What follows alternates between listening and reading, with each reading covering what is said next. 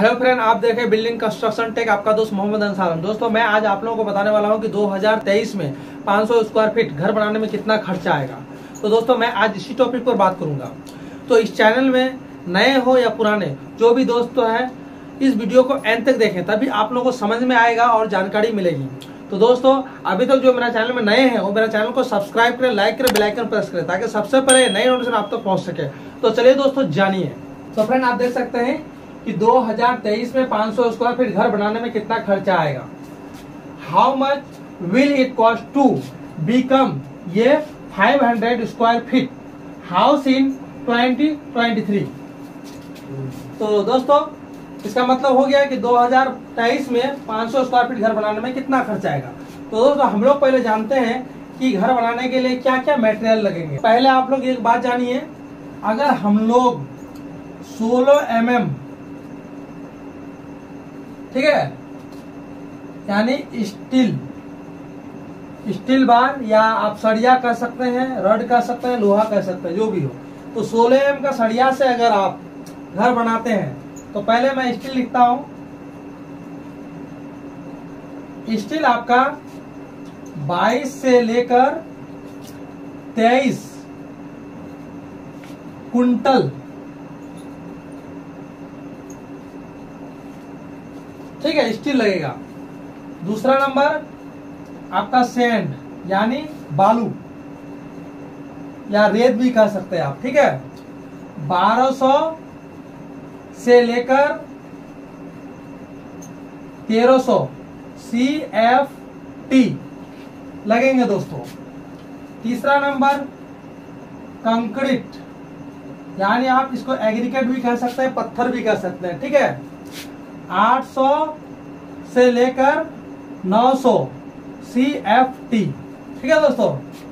अब बात आता है कि सीमेंट की। सीमेंट। दोस्तों, इसमें सीमेंट लगेंगे 225 से लेकर 250 बैग। ठीक है दोस्तों? अब ईट।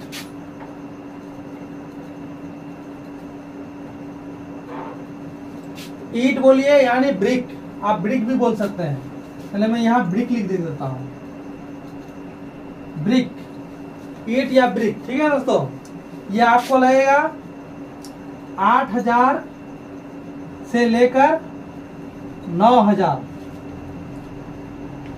ठीक है?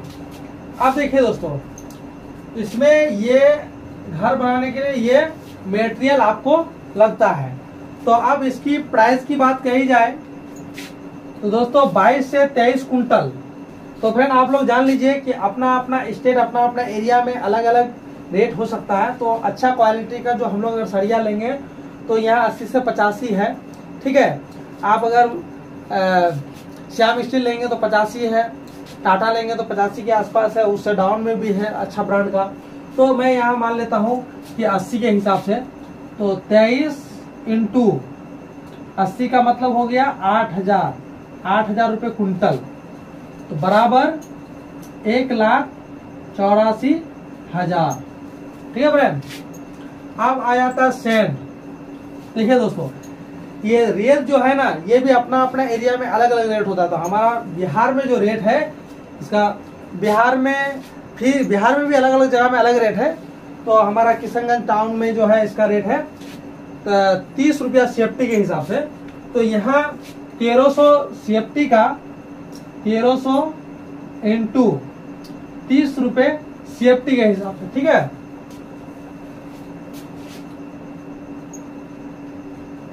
उनचालीस हज़ार रुपए होते हैं दोस्तों, ठीक है? अब कंक्रीट ये जितना भी मटेरियल है दोस्तों अपना अपना एरिया में कन्वर्ट करना। लेकिन मैं आप लोगों को बता चुका हूँ कि कितना सेफ्टी लगेगा, कितना कुंटल लगेगा, आप उसके ज़्यादा रेट कैलकुलेशन कर लीजिएगा, ठीक है? कंक्रीट कंक्रीट जो है 900 सौ इंटू पचास। पंच पैतालीस, यानी पैतालीस हज़ार। ठीक है दोस्तों? आप सीमेंट सीमेंट आपको जो है, यहाँ पे प्लेन एचपीसी सीमेंट जो बढ़िया नंबर वन माना जाता है तो यहाँ पे 360 के हिसाब से अभी है। तो आप पेपर बैग में जाएँगे तो 400 साढ़े चार सौ भी है तो मैं 400 के हिसाब से आपको बता रहा हूँ। ठीक है? तो इसमें सीमेंट जो है आपको अ, 225 से लेकर 250 बैग के आसपास लगेगा यानी 250 बैग 250 इंटू चार बराबर एक लाख रुपए लगेंगे दोस्तों। ठीक है? अब देखिए ब्रिक। यहाँ पे जो है, ब्रिक दस हज़ार, साढ़े नौ हज़ार, दस हज़ार, साढ़े दस हज़ार ऐसे रेट है। तो दस हज़ार के हिसाब से नौ हज़ार ईट का इंटू बराबर नब्बे हज़ार। ठीक है दोस्तों? नब्बे हज़ार। अब इसमें जो है, आपका लेबर कॉस्ट है।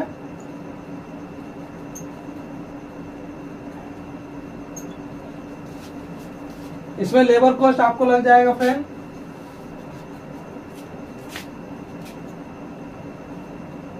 ढाई सौ रुपये स्क्वायर फीट आपका पाँच सौ इंटू ढाई सौ।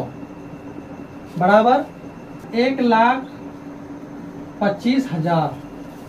ठीक है दोस्तों? आप देखिए, इसमें इस इस घर में आपका और जो है केवार जो गेट होता है, गेट, विंडो, खिड़की, है ना? तो आप देखिए, गेट और विंडो।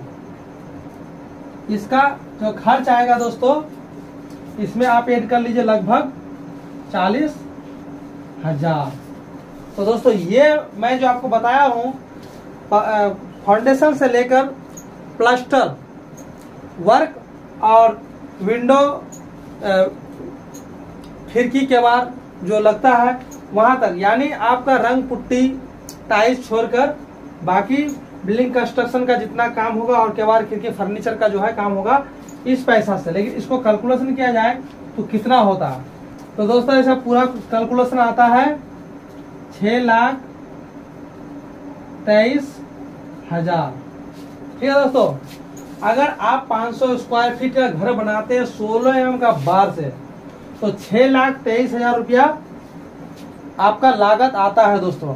तो दोस्तों, ये जो बताए 16 एम का बार से, लेकिन इससे आगे मैं बताना चाहता हूँ कि अगर हम 12 एम का बार से बनाए तो क्या खर्चा आएगा? तो दोस्तों, मैं यहाँ 12 एम कर देता। पहले आप देख लीजिए, पहले इसको पहले समझ लीजिए, मैं फिर से बता रहा हूँ। स्टील, अगर 16 एम का सरिया से अगर काम करते हैं तो स्टील जो है बाईस से तेईस कुंटल लगेगा। बाकी देखिए, यहाँ से जो है ना, पूरा प्रोसेस वही रहेगा, सिर्फ़ इसका कमोबेश प्रोसेस होगा। जैसे पहले समझ लीजिए, सोलह एम का बार से अगर काम करते हैं आपका, स्टील जो है बाईस से तेईस कुंटल लगता है। और अगर बारह एम का स्टील से आप काम करते हैं। तो स्टील चौदह से पंद्रह कुंटल लगेगा। ठीक है दोस्तों? तो अभी देखिए, मैं फिर से बता रहा हूँ कि स्टील जो है बाईस से तेईस कुंटल सेंड बारह से तेरह तेरह सौ सी कंक्रीट आठ सौ से लेकर नौ सौ सी, सीमेंट दो सौ पच्चीस से लेकर दो सौ पचास बैग ब्रिक आठ हज़ार से लेकर नौ हज़ार लेबर कॉस्ट ढाई सौ रुपया सी एफ़ टी के हिसाब से, और गेट विंडो ये फर्नीचर का जो काम होगा, इसका अमाउंट है चालीस हज़ार। तो सारा कैलकुलेशन करके देखिए आप सरिया का दाम आ गया एक लाख चौरासी हज़ार, उनचालीस हज़ार आपका हो गया। सैंड का कंक्रीट का हो गया पैंतालीस हज़ार सीमेंट का हो गया एक लाख, और ब्रिक का हो गया नब्बे हज़ार लेबर कॉस्ट हो गया एक लाख पचास एक लाख पच्चीस हज़ार, और आपका फर्नीचर का काम जो है गेट विंडो जो भी है वो चालीस हज़ार। ठीक है? ये ऑल फिनिशिंग में आप लोग आप लोगों का छह लाख तेईस हज़ार रुपया लागत आता है। अगर वही हम लोग बारह एम का सरिया से काम करते हैं तो यहाँ पे जो है पंद्रह कुंटल लगता है, पंद्रह कुंटल तो हमारा जो है आठ कुंटल माइनस होगा तो आप आठ कुंटल का आठ आठ है, चौसठ हज़ार। ठीक है? चौसठ हज़ार आप माइनस कर दीजिए। ठीक है? माइनस करके मैं दिखा रहा हूँ। तो अगर हम लोग बारह एम का सरिया से काम करते हैं तो पाँच लाख उनसठ हज़ार रुपए लगता है दोस्तों फिनिशिंग में। फ़र्क क्या रहा? सिर्फ़ जो है बारह एम का सरिया से काम करने पर हमारा स्टील का वज़न कम होता है दोस्तों। अब देखिए, इसमें कब कहाँ सरिया लगाना चाहिए? सोलह एम का सरिया लगाएँगे तो उसमें सरिया का क्या मेज़रमेंट होता है? और बारह एम का सरिया लगाएँगे तो कहाँ, कौन सा सरिया लगाएँगे? तो इसके बारे में वीडियो बना चुका हूँ और फिर स्पेशली आपको, आप लोगों के लिए मैं वीडियो बना दूँगा। तो आप लोग इस चीज़ को नोट कर लें। और शायद आप लोगों को इस वीडियो से आप लोगों को बहुत कुछ सीख मिल गया होगा। और बस आज के लिए इतना ही। फिर मिलते हैं नेक्स्ट वीडियो में। थैंक यू धन्यवाद।